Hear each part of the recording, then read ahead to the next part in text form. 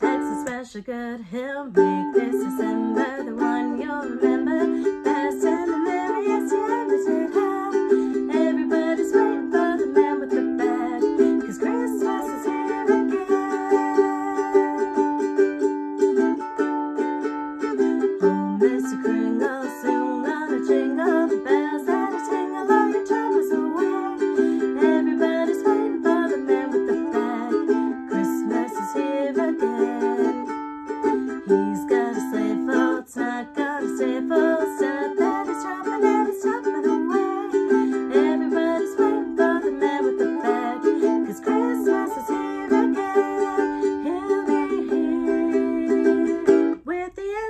the